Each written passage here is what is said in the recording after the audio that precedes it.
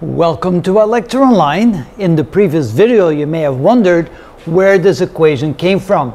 That's the equation that we use to find the nth term in a geometric series, uh, or sequence. Essentially, it's the same thing in a way, is to find the nth term in that particular order of numbers. But with a geometric series or with geometric sequence, we know that there's a common ratio between one term and the next term. In other words, what we can say is that a sub n divided by a sub n minus 1 is equal to the common ratio r.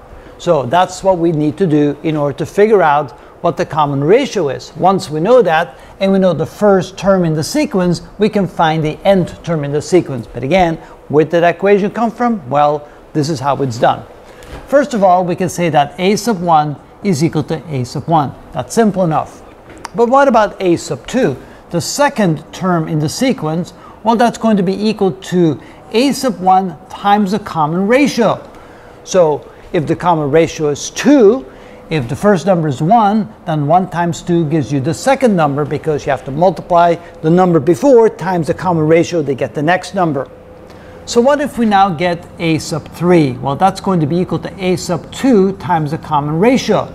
But a sub 2 is equal to a sub 1 times r, so this can be written as a sub 1 times r times r, or a sub 1 times r squared.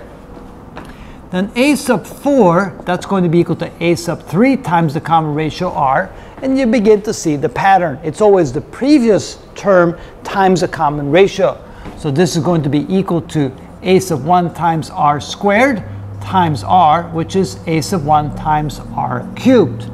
And doing one more, a sub 5 is equal to a sub 4 times the common ratio r.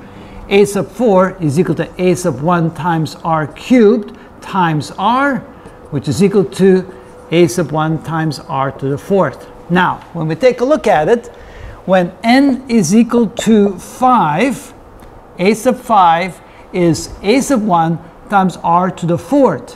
When n is equal to 4, you can see that a sub 4 is equal to a sub 1 times r to the third. Notice that the exponent of the common ratio is always 1 less than the value for n. And so therefore we can say that a sub n is equal to a sub 1 times r to the exponent 1 less than n.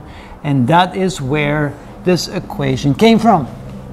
Now that we know how we derived it, let's try it one more time on this example right here.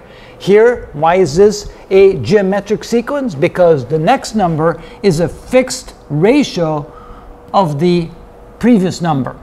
Let's see what that is equal to because we can do it using the equation. So we can say that r is equal to a sub n divided by a sub n minus 1.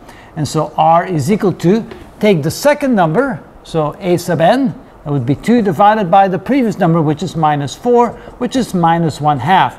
Notice here that the common ratio is a fraction and a negative number, a negative fraction. All right, now we're ready to find the four terms. So we say a sub 4 is equal to a sub 1, which is minus 4, multiplied times the common ratio, which is minus 1 half, raised to the 4 minus 1 power, 4 minus 1 power. So this is equal to minus 4 times minus 1 half raised to the third power, which is equal to minus 4 times minus 1 over 8, because negative 1 cubed is still negative 1, and 2 cubed is 8. And so minus times the minus is plus, and 4 divided by 8 is 1 half. So you can see that the fourth term is equal to 1 half. 1, 2, 3, 4. Notice, yes indeed, I got the value I was looking for, and you can see that the equation does indeed work. First, you find the common ratio, then you plug it into the equation to get the n term of that particular sequence. And that is how it's done.